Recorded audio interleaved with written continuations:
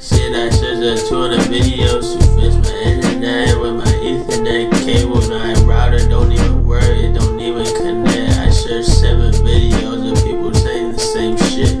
None of them don't even fucking work. What am I doing right now? I just did this for 20 minutes without any fucking progress. Please help me, please help me, please. Oh my god, someone please tell me what to do. Please, what the hell? Took me $200 to buy different Ethernet cables to get problem solved.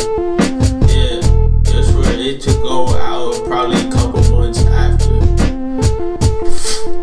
I need some tissues right now. I've been crying for two minutes fucking straight, probably three, probably ten. I don't even keep track of my time because I'm too fucking busy fixing my Ethernet.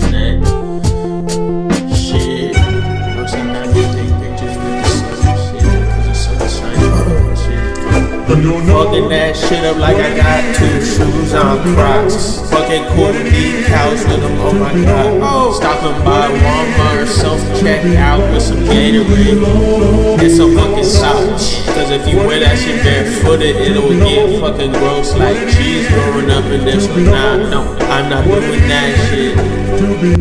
No.